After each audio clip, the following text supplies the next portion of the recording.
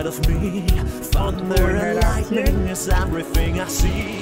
Try to forget all this cruel pain. Forgiveness